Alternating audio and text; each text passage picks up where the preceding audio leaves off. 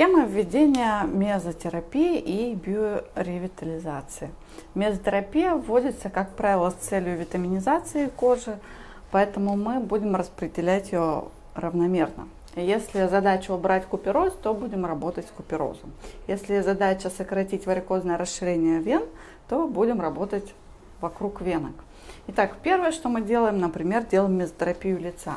Папулы мы распределяем равномерно. Расстояние между ними 3-4 сантиметра в шахматном порядке. По всему лицу.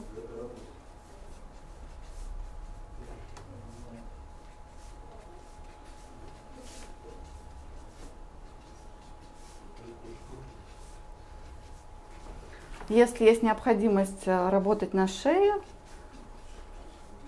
вводим мезотерапевтический коктейль в шею, в зону декольте. Повторюсь, что каких-то явных омолаживающих э, свойств мы не заметим. Э, мезотерапия по лицу делается с целью витаминизации. Если у нас какая-то сосудистая сеточка – например, вокруг носа часто бывает купероз, да, на щечках бывает, то мы вводим папулы вокруг этих сеточек. И расстояние где-то 5-7 миллиметров между папулами. Если это венки на ногах, соответственно, точно так же. 5-10 миллиметров между папулами – и вдоль каждой венки вводим препарат. Как правило, это витамин С или какой-то сосудосуживающий коктейль, готовый уже.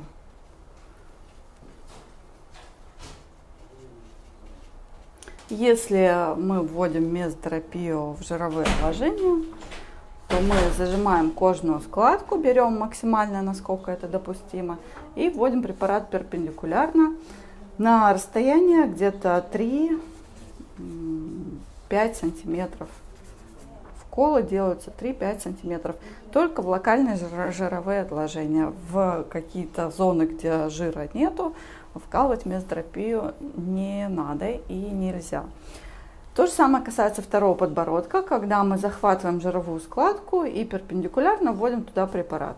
Значит, по второму подбородку, кстати, а, есть моя техника введения, она несколько эффективнее, чем обычная. Представим, что вот это подбородок, и вот человек у нас лежит. Да?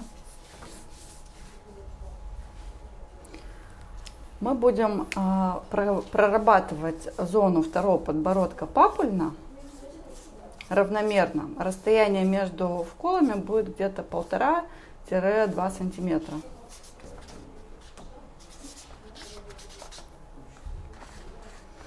А дальше то количество препарата, которое мы взяли на зону второго подбородка, например, 1 мл, да, мы прошлись э, папульно по всей поверхности второго подбородка, подбородка и дальше зажали складку жировую. Если папулы у нас были папульная техника, то далее мы напажем все, что осталось, количество препарата, мы вводим перпендикулярно в жировую складку. То есть мы берем центральную и берем, например, сбоку и сбоку. И таким образом весь оставшийся препарат мы вводим в жировую ткань в области подбородка. Биоревитализация. А, точно так же выполняется, если у нас цель, например, увлажнить всю кожу лица и шеи и зоны декольте, то, ну, во-первых, надо рассчитать количество препарата. Если мы будем работать по всему лицу, уйдет одно количество препарата. Если мы задействуем шею и зону декольте, то нам потребуется второй шприц объемом 1,1. То есть получится на лицо 1,1, на шею и декольте тоже 1,1. Таком э, случае, если мы равномерно распределяем, то э, введение папул будет таким же, как при мезотерапии. То есть расстояние будет где-то 1-3 см шахматный порядок. Но если препарата мало, например 0,6, а задача только убрать гусиные лапки, то 0,6 препарата вполне может хватить только на гусиные лапки. И если вдруг что-то останется, то мы можем доделать там, в какую-нибудь зону, о которой заранее договоримся с клиентом.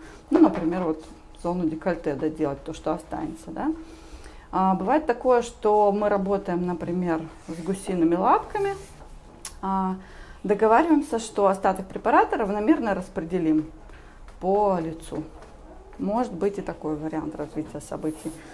А, если мы работаем на руках, биоревитализацию делают с целью устранения мелких морщинок на руках.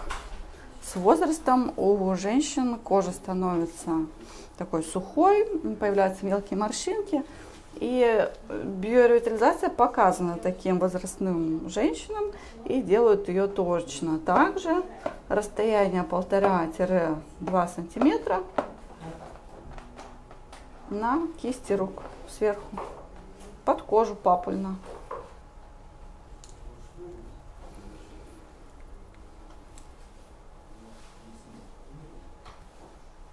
Все.